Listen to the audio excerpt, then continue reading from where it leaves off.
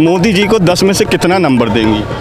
मैं फाड़ दूँगी आप कॉपी मार देंगी मोदी जी की। अरे उनको सिर्फ़ ठेला लगा के चाय बेचना ही आता है ना। देखिए हमारे चाय वाले को ये तक नहीं पता कि जो गन्ना है वो गन्ना उगता है कि चीनी उगती है? अब इन्होंने अंधेरे में जो काम करा है वो तो अंधेरे वाला ही है ना। मैम क्यों यहाँ पर आई हैं? कहाँ से आई हैं आप? मैं भी दिल्ली से। क्यों कृषि कानून का क्यों आप विरोध कर रही हैं? क्योंकि पहले ही किसानों का कोई हक नहीं है। पहले ही किसानों का इतना बुरा हाल है। पहले ही उनको वो, अभी हम बात कर रहे थे तो वो कह रहे छः छः महीने तो हमें पहले ही फ़सल का वो नहीं मिलता। और अब इन्होंने ऐसे कानून बना दिया कि अब पहले ही इतना बुरा हाल था तो अब क्या होगा? अब तो वैसे ही उनका ये सिस्टम है कि सारा रिटेलर्स का ही काम होगा, मंडी तो वो ख़त्म कर रहे हैं। तो जो कॉरपोरेटर जो बीच में उनको फिर भी पैसे दे देते थे तो फिर भी उनको पहले थोड़ा पैसा मिल जाता था एडवांस में, अब वो भी मिलना बंद हो जाएगा। अगर ये सीधा ही उनसे बात करेंगे, जैसे अब बड़े बड़े लोग हैं फार्मर्स को तो वैसे ही वो अनपढ़ दिखा रहे हैं जो लोग, वो कैसे कह सकते हैं कि अब इतना पढ़ा लिखा कानून उन्होंने खोल दिया है तो ये इनको समझ आएगा फार्मर्स को? अब इनका बढ़ोतरी हो जाएगी, इनको अचानक से इतना ज़्यादा एजुकेशन आ जाएगा कि इन्होंने कहाँ पे जाना है कहाँ पे बेचना है। किसान विरोध कर रहे हैं मोदी जी कृषि कानून का कह रहे हैं कि भैया ये ठीक है बार बार ऐसी इस कानून के अंदर क्या चीज़ है कि खेती करने वाला किसान तो विरोध कर रहा है लेकिन मोदी जी कह रहे हैं भैया ठीक है ठीक है। अरे उनको सिर्फ़ ठेला लगा के चाय बेचना ही आता है ना। उनको तो लग रहा है भाई उन्होंने बोल दिया उनको खुद पता उन्होंने क्या बनाया है? उनको खुद इतनी नॉलेज है कि उन्होंने क्या बनाया उनसे अभी हम एक किसान से बात करके आए थे। तो वो कह रहे थे कि हमारे चाय वाले को ये तक नहीं पता कि जो गन्ना है, वो गन्ना उगता है कि चीनी उगती है? जिनको यही नहीं पता तो वो कैसे बोल सकते कि ये कानून अच्छे हैं? आप भी खेती कहती है घर में आपके?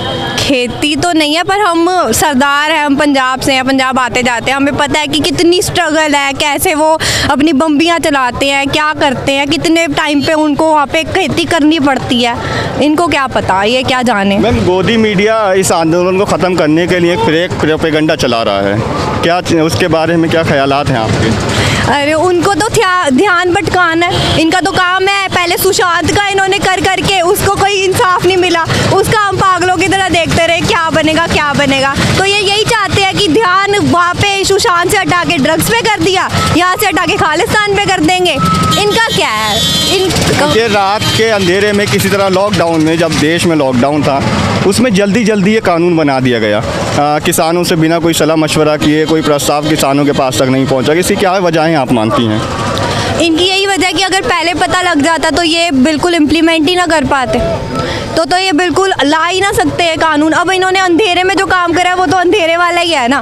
वो तो बिल्कुल अच्छा है ही नहीं क्योंकि अगर पहले आ जाता तो सबको पता चल जाता ये चीज़ें जो अब अब हो रही हैं उसका तो नौबत ही ना आती जब लोगों को पहला पता चल जाता। तो अगर गलत काम करते हैं ना तो गलत काम अंधेरे में ही करते हैं। घर से खा के आती हैं कि भैया कि नहीं किसानों के साथ जाके वहीं खाना है? नहीं नहीं ऐसा कुछ नहीं है। हमें खुद होता है कि उनके लिए आया है उनको पूरा हो हमारा तो हम घर जाके खा लेंगे वैसे भी उनका दिया ही खा रहे हैं घर बैठ के भी उनके दिया ही खा रहे हैं। मैम मोदी जी ने वादा किया था आ, 2014 से पहले कि देश के बेरोजगारों को प्रत्येक वर्ष दो करोड़ रोज़गार दिया जाएगा। कहाँ तक वादा रहा? कहाँ क्या था उसमें? मैं भी तब से बेरोजगार ही हूँ। मेरे को कोई दो करोड़ रुपया नहीं आया। हालाँकि जिनके पास था उनका भी उड़ ही गया है मोदी जी के आने। अगर आपसे कहा जाए कि आप एग्जामिनर हैं आप कॉपी चेक कर रही हैं मोदी जी को दस में से कितना नंबर देंगी? मैं फाड़ दूँगी आप कॉपी फाड़ देंगी मोदी जी की। ले भैया, ये देखिए, ये देश का युवा है, ये देश का नौजवान है। मोदी जी को नंबर देना तो दूर की बात है, कह रहे हैं, मोदी जी की हमारे पास कॉपी आएगी तो हम कॉपी फाड़ देंगे मोदी। तो मैं सिंगू बॉर्डर पर मौजूद हूँ, आपने सुना। और हालाँकि जो आंदोलन था, वो देश के किसानों का था।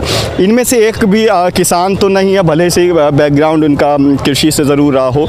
लेकिन ये लोग किसानों के साथ उनको समर्थन देने के लिए लगातार यहाँ पहुँच रहे हैं। और सिंगू बॉर्डर की तमाम जो छोटी बड़ी खबरें हैं, मैं आपको, आप तक पहुँचाता रहूँगा। और आप हमारे अगर यूट्यूब पर आप इस वीडियो को देख रहे हैं तो हमारे चैनल को सब्सक्राइब बिल्कुल करें।